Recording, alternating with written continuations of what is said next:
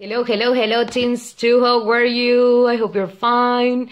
So today we're going to learn about superlative adjectives. Ok, vamos a aprender sobre los adjetivos superlativos. Ya aprendimos sobre los comparativos, que éramos los que eran los que utilizábamos para comparar una persona con otra persona o una cosa con otra cosa. Ok, en este caso vamos a hablar de la comparación de una persona o una cosa con un grupo de cosas. Ok, ¿qué quiero decir con esto? Por ejemplo, yo voy a decir, mi hermano es más alto que yo.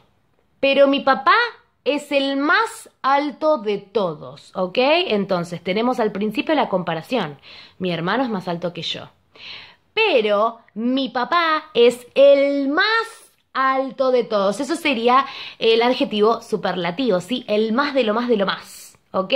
Fíjate que, fíjense, perdón, que entre mi hermano y yo hay una comparación, pero después mi papá le gana a todo lo demás, es el más de lo más, para que recuerden y se acuerden de identificar comparatives de superlatives. So, vamos a ver cómo, cómo trabajamos con la estructura de los adjetivos en el momento de hablar de un adjetivo superlativo. A ver, ¿se acuerdan que nosotros cuando eh, en, el comparativo, en el comparativo teníamos un adjetivo de una o dos sílabas, le agregábamos al final del adjetivo la terminación ER, ¿sí? ER. En este caso, primero, antes del adjetivo, vamos a escribir la palabra de. Después vamos a escribir el adjetivo y al adjetivo le vamos a agregar la terminación est. ¿Ok? ¿Por qué la palabra de? Porque cuando vieron que yo dije mi papá es el más alto de todos, el más alto de todos, bueno, ese el, ese artículo es el de.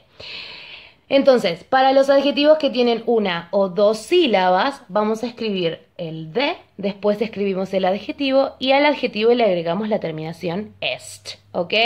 Entonces, por ejemplo, long, que es largo, termina siendo the longest, el más largo, ¿sí? Recuerden que a los adjetivos de dos sílabas que terminaban con Y le cambiamos la Y por I latina y en este caso luego de la I latina le vamos a agregar la terminación est. Entonces happy se convierte en the happiest, ¿ok? And then, recuerden que a los adjetivos de una sola sílaba que terminaban en vocal y consonante, vocal primero y después consonante, les agregamos una nueva consonante, le repetíamos la consonante final y luego le agregamos la terminación est. Entonces, fat, que es gordo, se va a convertir en the fattest, ¿ok? El más gordo. Fíjense que fat, fattest tiene dos T. ¿Ok? So, now, for the adjectives uh, of three or more syllables, vamos a, eh, vamos a agregarle a, las, a los adjetivos de tres o más sílabas. En vez de hacer la terminación est, vamos a escribir la palabra most antes del adjetivo. Entonces vamos a escribir the most, el más, y el adjetivo. Por ejemplo, beautiful, que tiene más de dos sílabas, tiene tres. Voy a escribir the most beautiful, la más linda, ¿ok? Bien, ¿recuerdan que en los comparativos habíamos visto que habían tres adjetivos que eran irregulares? Bueno, siguen siendo irregulares también en los superlativos y se escriben de esta manera.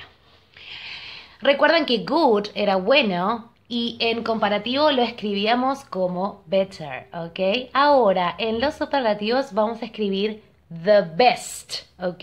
El mejor de los mejores.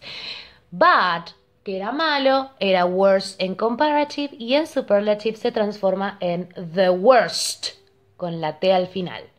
And then far, que era lejos, que era far, further en comparativo, se transforma en the furthest. Okay?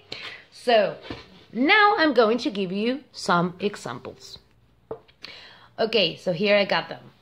The first one says, That is the biggest elephant in the jungle. Ese es el elefante más grande de toda la jungla, ¿ok? El segundo, fíjense que biggest tiene dos G, porque big termina con vocal consonante y le agregamos la terminación est y antes la palabra de. Después digo, my father is the funniest person I know. Mi papá es la persona más graciosa que conozco. Es la más de la más, ¿ok? Fíjense que funny, que termina con Y, la cambiamos por latina y le agregamos la terminación est. Y previamente al adjetivo escribimos la palabra de, ¿ok?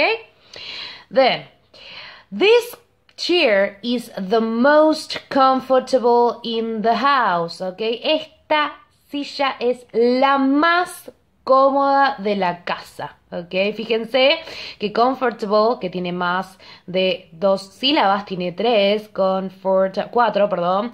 Eh, contando en vivo y en directo a la Miss. Ok, so comfortable, que tiene cuatro sílabas, eh, se pone con la palabra most. Fíjense que no tiene la terminación est, porque en este caso escribimos la palabra most previamente. The most comfortable, okay? And the last example says, Today is the best day ever. Hoy es el mejor día de todos.